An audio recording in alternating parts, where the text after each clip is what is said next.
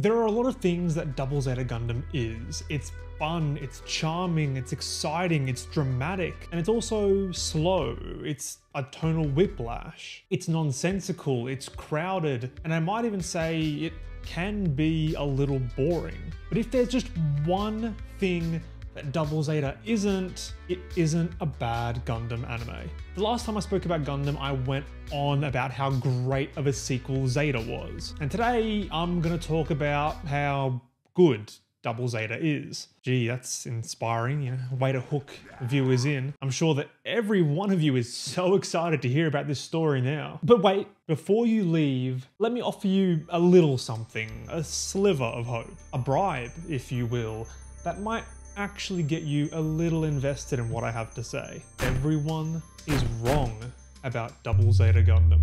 Ooh, a little controversial. Have I piqued your interest now? Well, sit back and enjoy my rambling for the next half an hour or however long this video is going to go for while I talk about this not so beloved Gundam entry that still deserves all of your attention.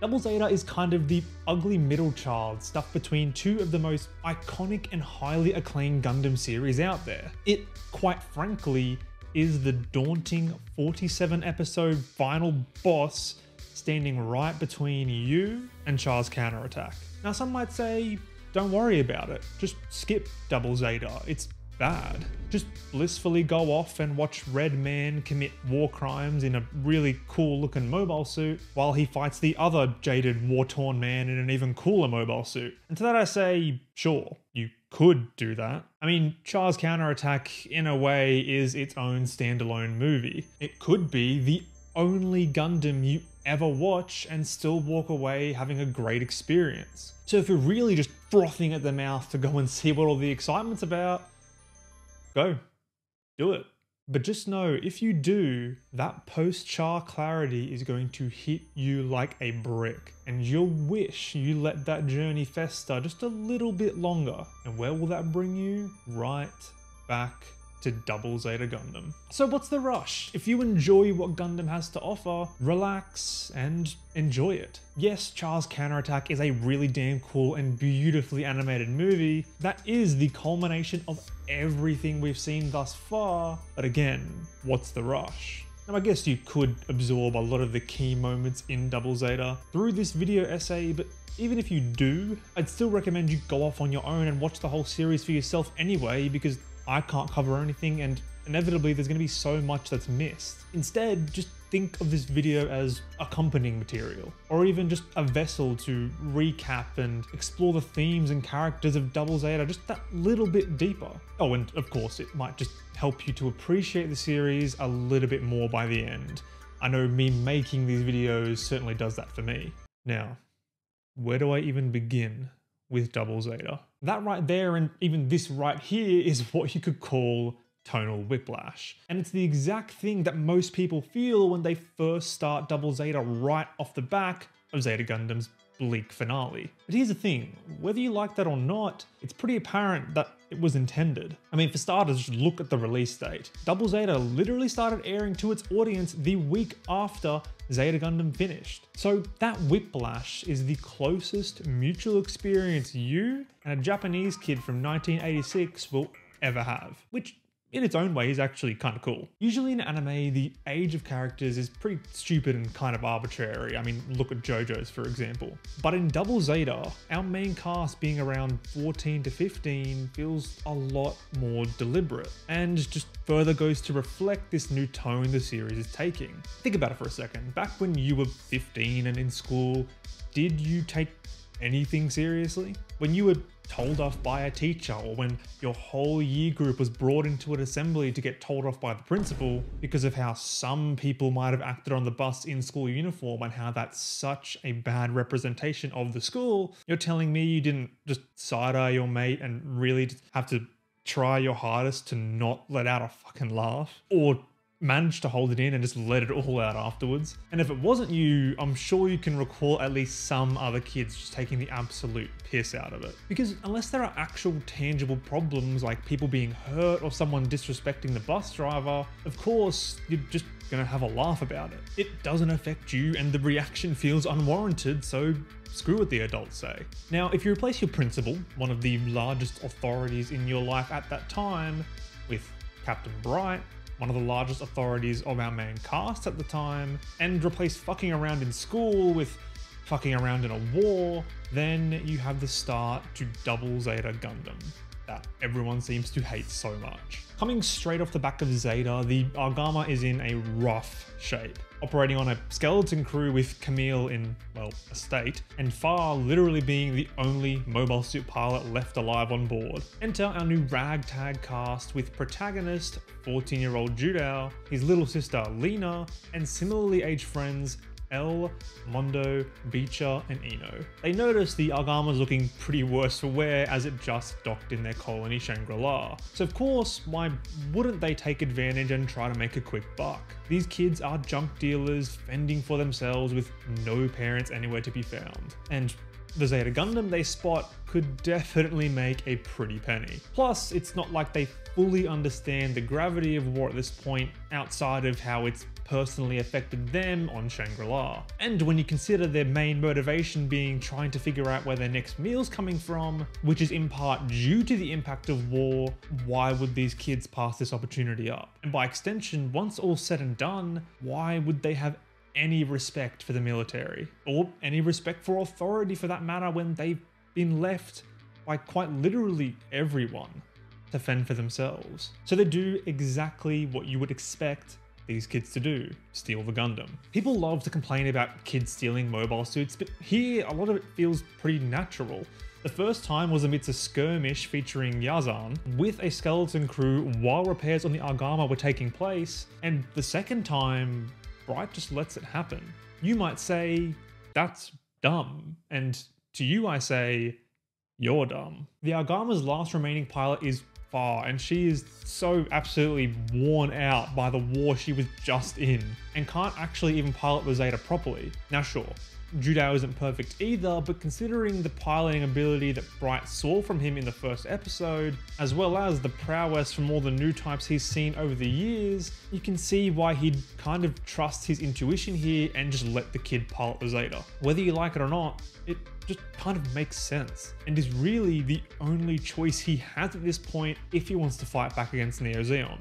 And Bright's intuition, once again, pays dividends. That isn't without a little resistance though. Bright gives Judau a pretty reasonable offer, that is one of stability. He can be a pilot aboard the Argama and never have to worry about where his next meal's coming from again. Plus, he'll be doing more honest work, as his sister Lena puts it. But Judau really likes his life as a freelancer. He doesn't want to be a quote unquote salary man for the AEUG. And I get that. He's always had to fend for himself, and there would be a lot of restrictions in place becoming a part of a war effort. It's a huge responsibility and quite frankly a risky one, but it would be the only stability he and his sister have ever had in their lives. So eventually, Judau comes around, even if it took a little bit of peer pressure. So not only does Bright convince Judau to join the Argama, he also gains all of Judau's friends and soon enough, Rue. All of which inevitably come together to create the Gundam team, consisting of the Gundam Mark II,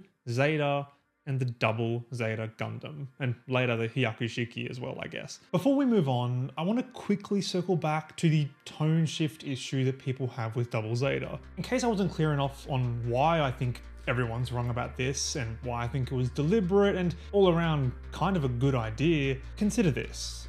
Double Zeta is giving us a whole new perspective. These kids haven't gone through this whole journey with us. So, of course, they aren't going to have all of these preconceptions that we do throughout Mobile Suit Gundam and Mobile Suit Zeta Gundam.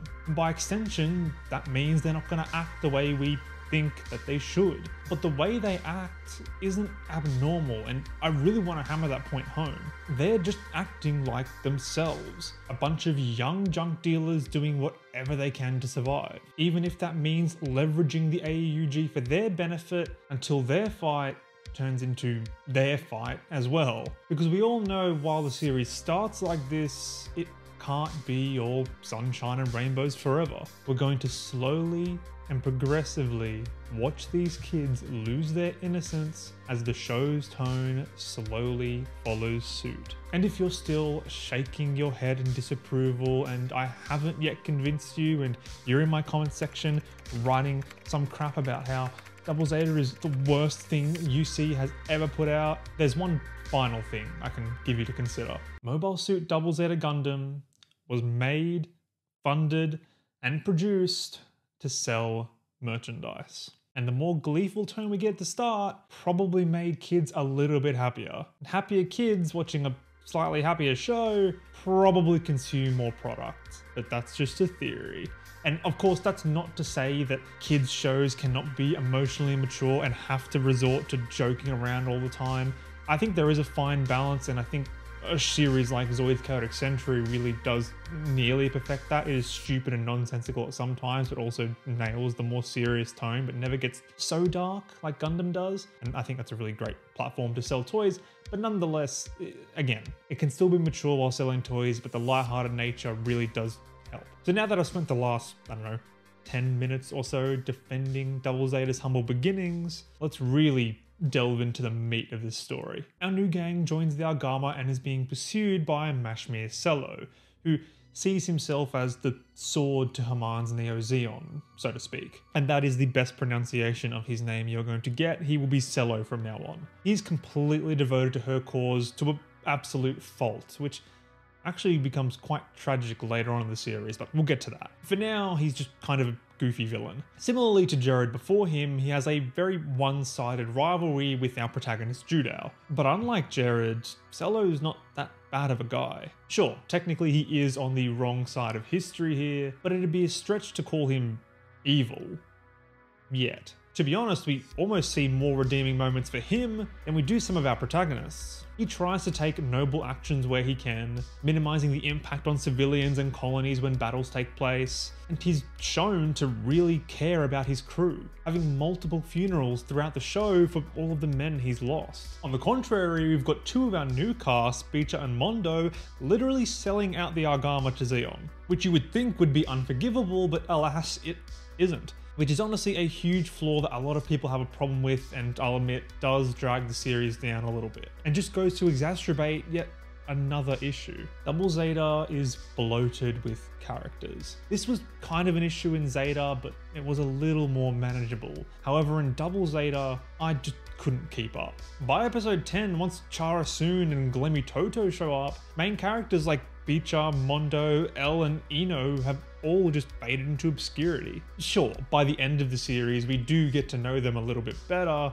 but I really believe that Double Zeta would have benefited from cutting a little bit of the fat and giving Beecher and Mondo some serious repercussions for the actions that they took would have been the perfect excuse to do that. Which is a little hard for me to say because I actually really appreciate how Beecher turned out by the end, but man, did I ever despise him in the start. But not like a Camille kind of dislike where he progressively grows and you can slowly get behind him by the end. Beecher just kind of sucks and then suddenly gets a lot better in the second half. I can't say I feel the same about Mondo, but at least there's a bit of a feeling there. I've got absolutely no feelings for, you know, that guy really just got shoved into the background and forgotten about.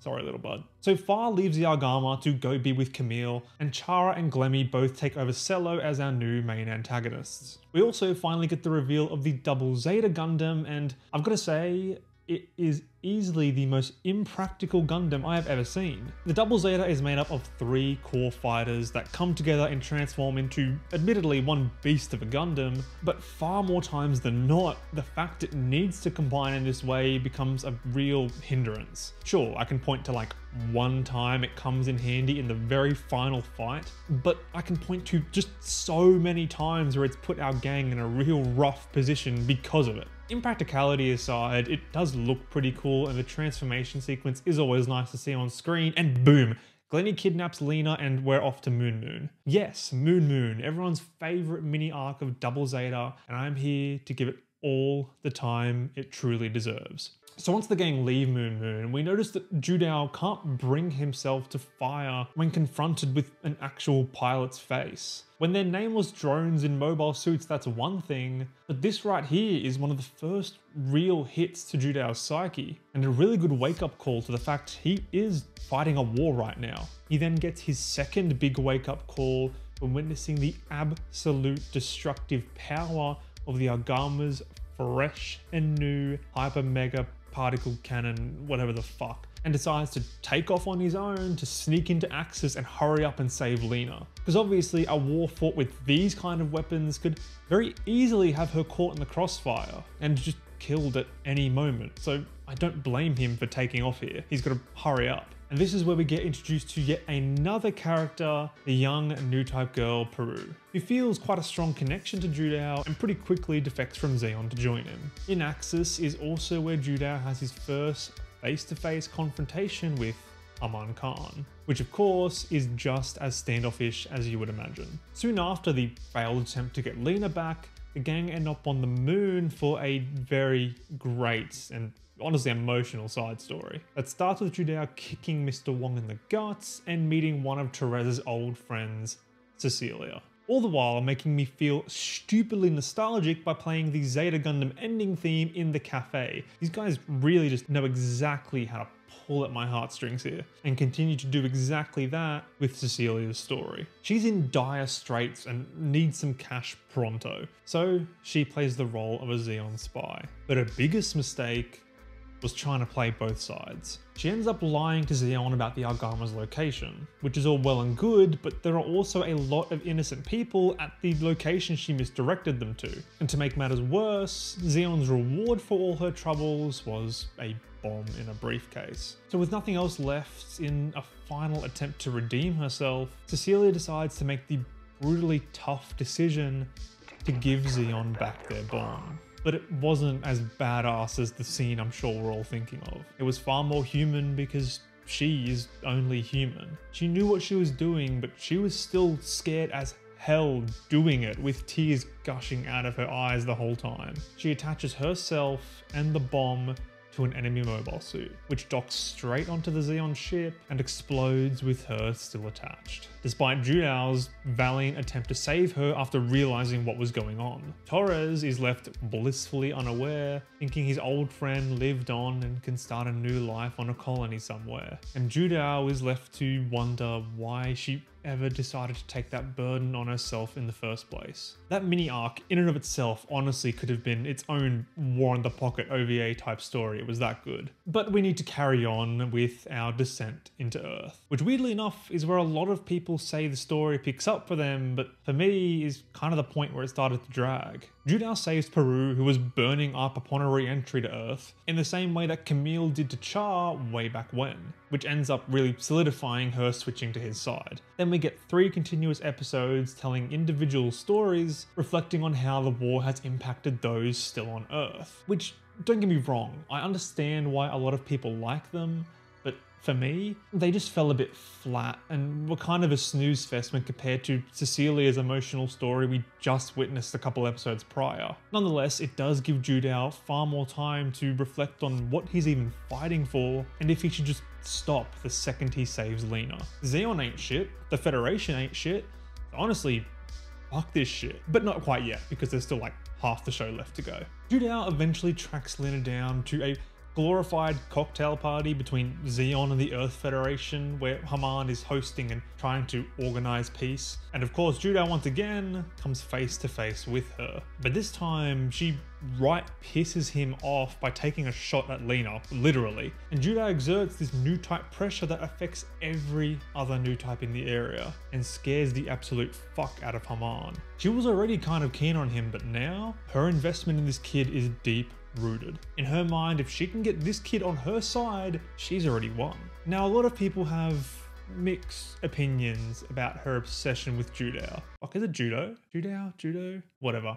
If it's judo, you can fight me about it in the comments. I'm gonna level with you here. I don't think she was into him in that way. Now, sometimes it might have seemed like it, but I think it's pretty easy to boil that down to simply being manipulation. I mean, she'd already achieved that kind of loyalty out of Cello, so who's to say that she couldn't pull it off with another young and impressionable guy? After all, she is a downright powerful woman and one of the best antagonists in Gundam. And if you have a look at literally any Reddit thread talking about her, you can see that a lot of real life people would have been coerced by her. From Haman's perspective, she's only felt a new type pressure like this once before from Camille. And if she can harness that power for Neo Zeon's benefit, like I said a minute ago, she's already won. Unfortunately for her, Judau is far too strong willed for that kind of manipulation and fights her until the very end. But let's not get ahead of ourselves yet. Lena is finally saved. Congratulations, and boom, she's dead. Well, at least that's what we're led to believe, but she comes back later. Judau is absolutely done at this point. I mean, why bother? He's lost the one thing he was trying his hardest to protect, and at this point, everybody seems corrupt. So to hell with it all. Rue tries to give Judau the tough love stance by saying, you know, not to let Lena die in vain. And although she's a bit of an ass for bringing it up right then and there, I mean, Jesus Christ, let the body go cold first, I can't really blame her. The Argama's ace pilot's number one motivation for fighting at all has just went up in flames, but there's still a water fight. So it's kind of hard to blame Rue for trying to rile him up instead of just letting him dwell. Out of all people, Beecher gets a bit of character development and actually says the mature thing here, telling Rue that everyone wants to be alone sometimes and that maybe she should just let him be. Nonetheless, she kind of ignores that, keeps pushing and confronts Judau who's locked himself in one of the core fighters. Now while I did say Rue was being a bit of an ass about it and I don't think she should have confronted Judau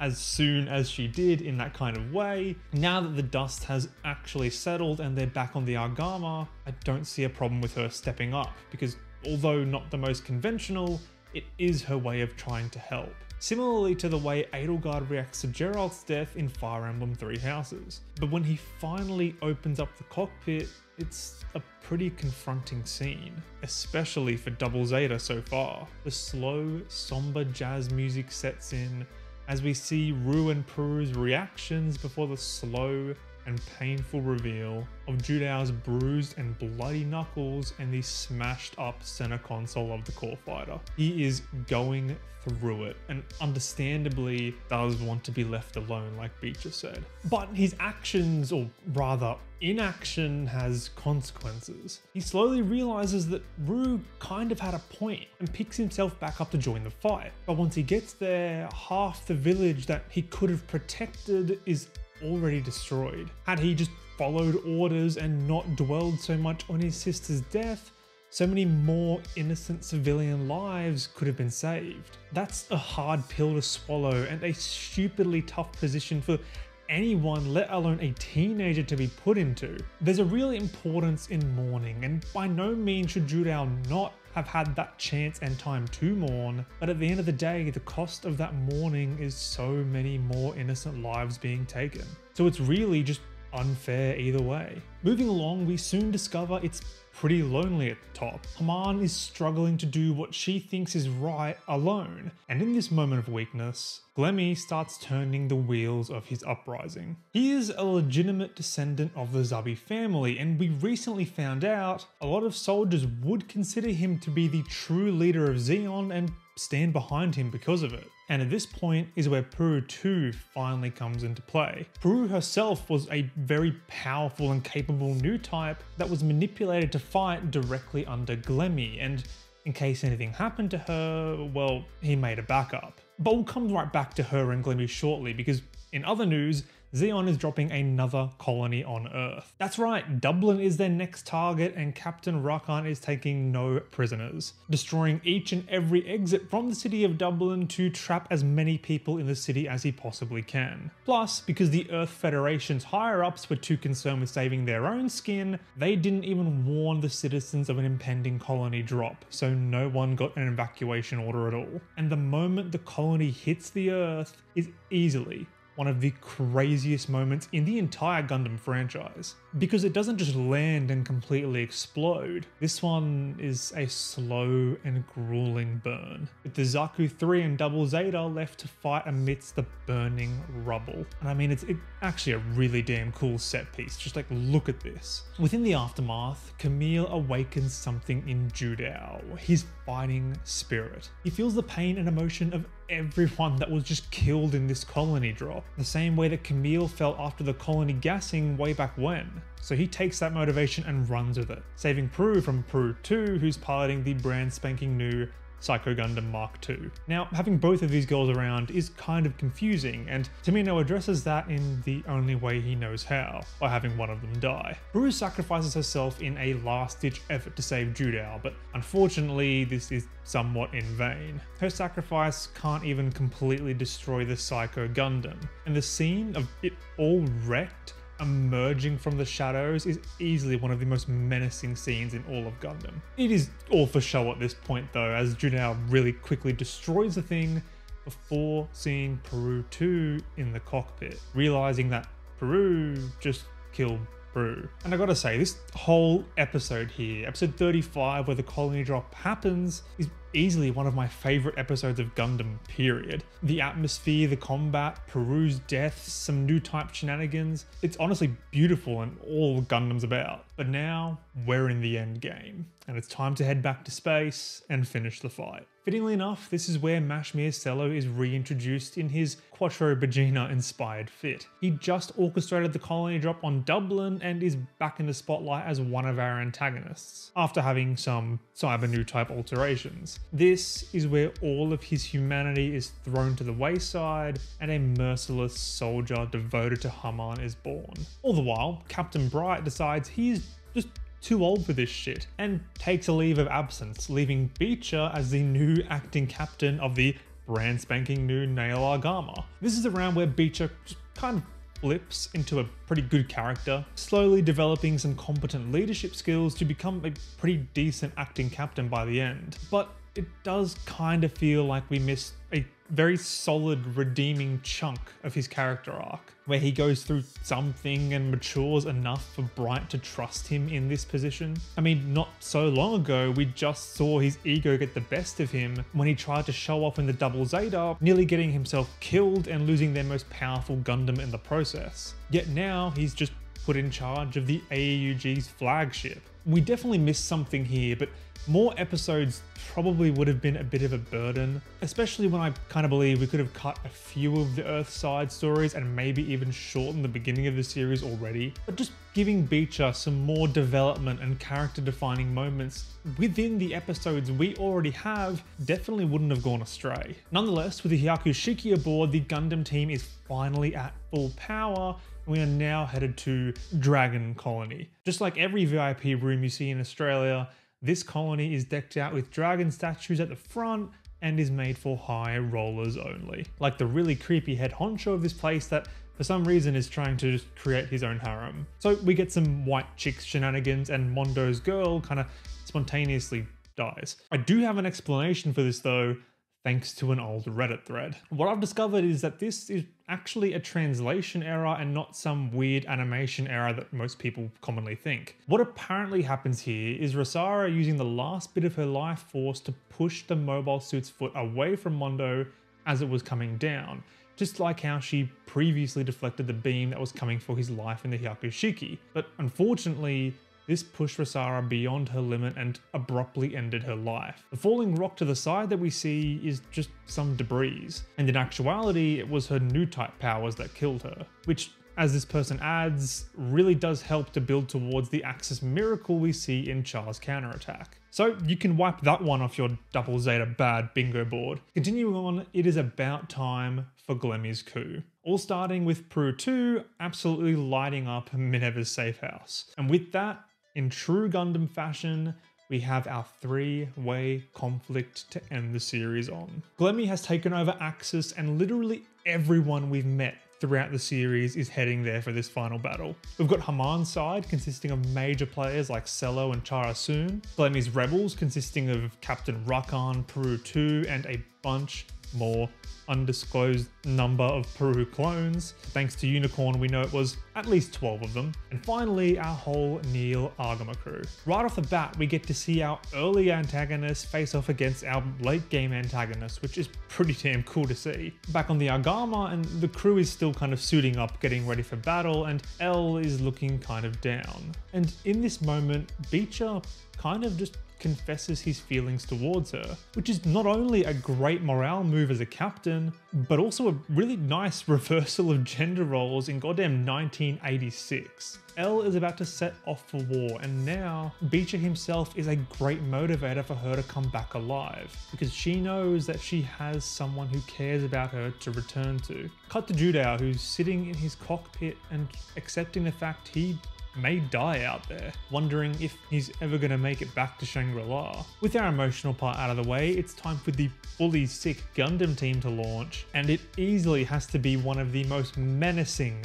things a Zaku would ever have the horror of seeing. Back to the battle, and the first to hit the chopping block is our old friend Mashymre Cello, who gets trapped by Rakan and his squad and sacrifices himself to take a couple of Rakan's men down with him. Only for Haman to sense his demise and think to herself, damn, I really just lost the resource, as she puts it, which just goes to show how little she really thinks of her men and how disposable everyone is to her goal. Glemy finally makes his move and launches into Queen Mansa alongside Puru Two because she's struggling to fight against Judau. And when the three of them finally meet, he actually makes a pretty good point to Judau. He says that he fights for what can't be achieved by any other means, and that he doesn't personally see any justice on Judau's side, so asks him why he even fights at all. And Judau has no answer to that question. Glemy theorizes that Judau only fights because he's been dragged into this conflict, whereas he fights because it's his own choice and he won't regret that decision, and goes to tell Judau that he doesn't even have a reason for what he does. But the thing is, Glemy doesn't understand Judau's feelings as a new type. He's literally feeling the pain from all sides of this war and just wants it to stop. He remembers Kamille saying it's the injustice he sees and the anger he feels being his motivation in the first place, and reflects on when Fa told him that Kamille didn't fight because anyone ordered him to, but because he believed in the world's ability to redeem itself. And that is Judau's resolve, that is his reason for fighting. It's on behalf of everyone else that can't. He even goes on to monologue to Glemy about how just because he can articulate his cause and reason for fighting better, that doesn't genuinely make it any better of a reason. And all I gotta say is right here, Judau really is just like me for real. I'm not always the best at articulating myself, and I'm sure it does come across that way in these videos, and also goes to explain why scripting just takes me weeks on end. But regardless, I don't think that should dilute what I have to say. Carrying on, Puru 2 doesn't really resonate with Glemy's sentiment, realizes she's kind of just being manipulated and gets the fuck out of there before Roux takes a shot at Glemy, sniping him right out of the cockpit, and our second antagonist bites the dust. So now it is finally time for Judau to get out there and meet Haman face to face on the battlefield to try and end this conflict between themselves and not cause any more bloodshed. Not before Chara Soon goes out in an absolute blaze of glory against a couple of the Puru clones. Haman and Judau meet and continue to fight amongst the wreckage of Core 3, even getting into some traditional Gundam get out of your mobile suit hand to hand combat. Haman, even on the brink of really losing everything, still hasn't given up on trying to recruit Judau. In his eyes, she's just as bad as Glemy, even telling her earlier on that he sees no difference between the two. Or more specifically, feels as though what Haman's doing would just yield the same results as what Glemy was trying to do in the end. But Haman genuinely believes there is a difference and that she is in the right here. And although she had the entirety of Neo Zeon behind her, it was still lonely for her at the top. She didn't truly have an equal until Judau came along. Someone who strongly contested her beliefs and couldn't be charmed by her power and her influence. She finally met her match. Now Neo Zeon is falling apart and she has nothing left but this final confrontation. She wants to make the most out of it and enjoy this fight so bad that she even refuses to use the Qubeley's funnels. And Judau raises a really good point here. That openness Haman has to tell him she won't be using the funnels, and that respect she has for him in this duel could have been used to promote harmony and protect the Earth instead of dropping another colony on it. She snaps back at this idea, essentially echoing Char's belief that humanity is still weighed down by gravity, and basically aren't ready for that conversation. With nothing else left, after being defeated by Judau with the assistance of all the new type ghosts of the past, channeled through Kamille into the Double Zeta's biosensor, Haman Karn lets herself be taken in by the explosion and goes down with the heart of Zeon. Sure, she probably could have survived, but it was all over for her anyway, and there really wasn't much left for her to live for in the end. Judau narrowly escapes the explosion. The Federation show up to claim victory over Zeon, even though they made no effort in this fight and kind of caused the whole issue to begin with making these shady, underhanded deals with Haman. Understandably, when Judau sees this, he's pissed, gives Bright a massive jab to the face, then finally sees his sister Leina alive in the flesh again, and immediately leaves for Jupiter with Roux. Because really, what was it all for in the end? You can't blame the guy from wanting to get away from it all, and I'm sure he has a lot to think about, especially after those last few interactions he had with Glemy and Haman. And in the end, we're left with the classic outro song starting before the outro to really hit us in the feels, and we're left with the cute scene of Fa and Kamille running happily on the beach, which honestly just makes it all worth it. So circling back to the very beginning, why is everybody wrong about Double Zeta Gundam?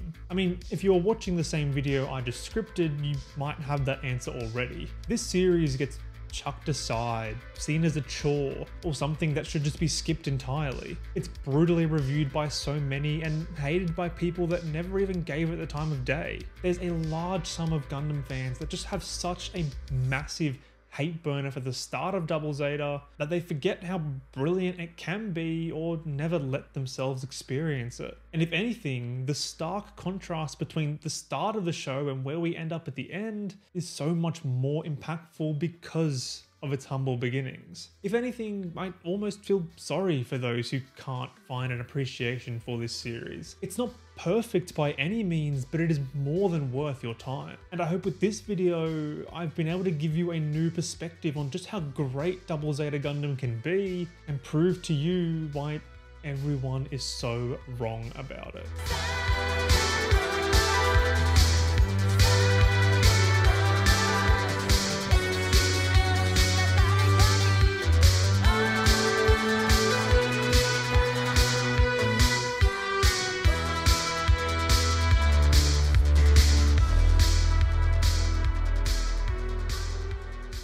Thanks so much for watching, and I, I, don't think I've even mentioned it in a video yet, but thank you all so much for 5,000 subscribers. It was a really huge milestone for me that maybe I just didn't celebrate enough, but I guess we can all save the celebrations for when we get to 10k. So if you want to see that day, leave me a like, subscribe for more, and as always, have a great rest of your day.